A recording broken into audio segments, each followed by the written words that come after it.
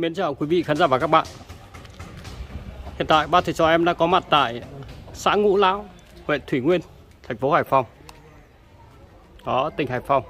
Và hôm nay ba thầy trò em xuống đây để giám sát và review căn biệt thự nhà vườn mái Nhật. Một tầng do chính Nguyễn Tất Nhiên tư vấn phong thủy.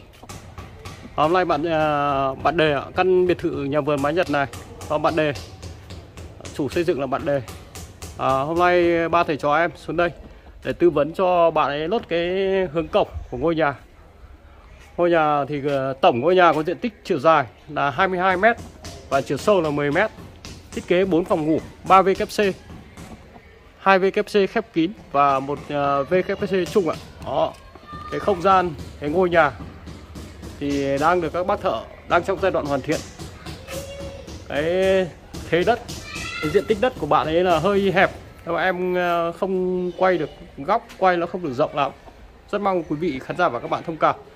Quý vị khán giả và các bạn đang chuẩn bị làm nhà, quan tâm đến mẫu nhà vườn mái nhật. Hãy đăng ký kênh để xem những cái video thực tế. Thầy cho em đi thiết kế cũng như review ạ. Đó. Đây là căn biệt thự nhà vườn này đó, cột, trụ cột vuông 60 đó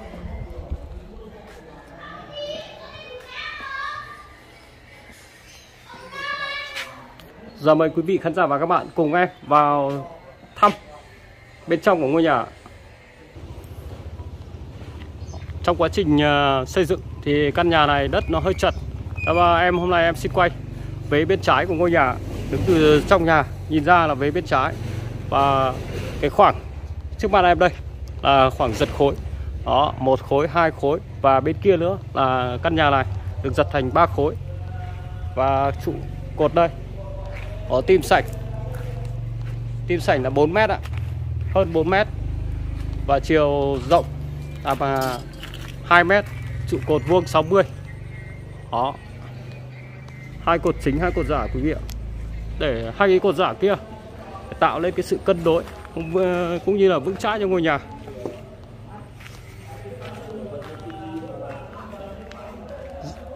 Rồi mời quý vị khán giả và các bạn cùng em đi vào trong căn nhà. Đó, hôm nay em xem ờ, xin được quay từ mấy bên trái của ngôi nhà. Với bên trái ngôi nhà đó là kết hợp phòng ờ, khách. Phòng khách với cộng với lội bình đường. Cái không gian này của chúng ta được 45 mét vuông ạ. Đó, các bác thợ đang hoàn thiện. Và chính nội bình đường thì được thiết kế phòng thờ. Và phòng thờ này cũng có diện tích 10 gần 15 mét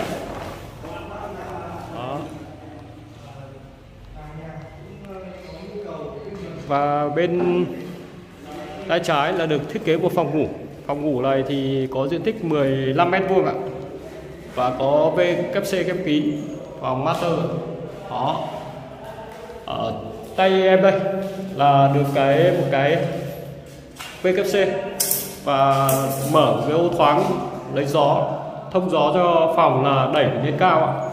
Và trên cái phòng này thì có cái gác lửng đây, là cũng là cái kho để chúng ta chứa đồ. Đó, em xin quay cho quý vị khán giả và các bạn cùng xem.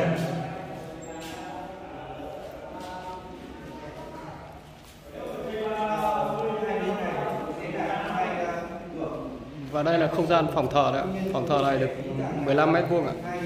Đó. Đó, các bạn ạ. Đây là cái ờ, sảnh của căn nhà và các bác thợ hôm nay đang hoàn thiện. Đó. Một cái miếng gạch to. Lát vào đây. À ơi, cho em hỏi chút cho em hỏi cho em hỏi chút thì từ lúc anh thi công căn nhà này thì có nhân dân nhiều có ai đến chê căn nhà này không ạ? À, nhiều người đến rồi chứ anh anh đừng gõ một tí. À, anh anh nhìn mày ống kính cho em cái. Có nhiều người đến hỏi xin mẫu rồi anh. Đúng rồi. Có ai chê cái nhà này chưa ạ? Chưa. Vâng. Em cảm ơn anh. Đó các bác ạ. Đây là em hỏi trực tiếp bác thợ xây và em thấy các bác thợ xây ở đây làm đường led là khá đẹp. Sắc led. Đó. Em quay cái tim cái trụ cột cho các bác xem. Mới ờ, uh, chát xong thôi. Nhìn nó đã đẹp rồi. Đó. Bác thợ bác ấy đang lát cái gạch hoa như một cái thảm và đây là cái không gian em đứng ở trước nội bình đường phòng thờ kết hợp với phòng khách đó.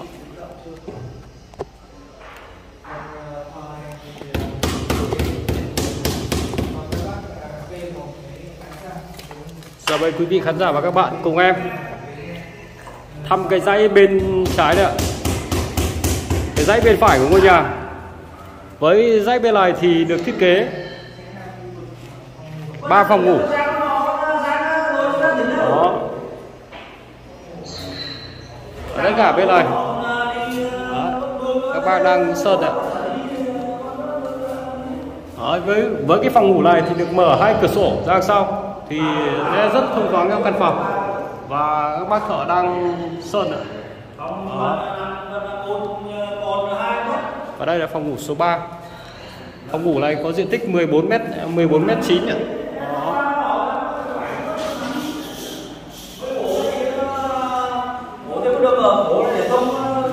Đây là một cái phòng master này nữa phòng này rộng có vệ sinh khép kín.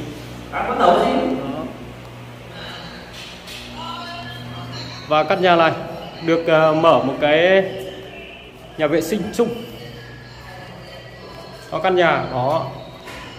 Và hành lang ngôi nhà này cái đường giao thông ngôi nhà được kết nối sang phòng bếp kết hợp phòng ăn và không gian phòng bếp kết hợp phòng ăn này có diện tích 27 mét vuông. Đó.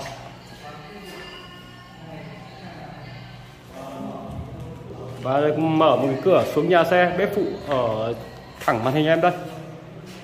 Và có một sảnh phụ. Đó, có một sảnh phụ xuống đây. Khi hoàn thành xong căn nhà này thì bạn chủ nhà, bạn ấy sẽ đập bỏ cái, những cái công trình cũ ở đây ạ một lần nữa em xin cảm ơn quý vị khán giả và các bạn. Đã xem hết những cái chia sẻ của em ở đây. Quý vị và khán giả xem những cái chia sẻ của em hay hữu ích hãy cho em xin một nút like, một nút đăng ký kênh để các bạn đang chuẩn bị làm nhà, có nhiều mẫu tham khảo ạ. Đó. Đây là cái không gian đằng sau của ngôi nhà. Nếu quý vị khán giả và các bạn đang chuẩn bị làm nhà, quan tâm đến tư vấn phong thủy, quan tâm đến thiết kế, xin hãy gọi điện, số điện thoại trên màn hình. Các bạn ở mọi miền trên tổ quốc, thầy trò em sẽ đến giúp quý vị khán giả và các bạn hoàn thành ngôi nhà mơ ước, tiết kiệm tiền, tiết kiệm chi phí, tiết kiệm thời gian và tối ưu không gian cho quý vị khán giả và các bạn ạ. Đó rồi chúng ta xây một căn nhà to hay nhà nhỏ, thì chúng ta đều lên có thiết kế, dù căn nhà một vài trăm đến một vài tỷ chúng ta lên có thiết kế thì công năng sử dụng của ngôi nhà chúng ta, nó sẽ tối đa tối đa hết cho mình. Và có nhiều cái chúng ta khi ta vào sử dụng, ta không nói câu biết thế. Đó đó là nhiều cái nhà, nhiều ngôi nhà mà các bác ờ, tự xây, tự thiết kế cho mình đã không sắp xếp hợp lý để căn nhà của mình nó không hợp phong thủy, lỗi đó là những cái điều rất đáng tiếc khi chúng ta đầu tư tiền vào ngôi nhà. Đó. Em ờ, xin chân thành cảm ơn quý vị khán giả và các bạn đã xem hết cái video của em tới đây. Chúc quý vị khán giả và các bạn đang chuẩn bị làm nhà, đã xây được cho mình những ngôi nhà đẹp với túi tiền của mình, hợp phong thủy với mảnh đất của mình. Đó là những cái gì mà thầy trò em muốn gửi gắm đến quý vị khán giả và các bạn. Em chân thành cảm ơn quý vị khán giả và các bạn.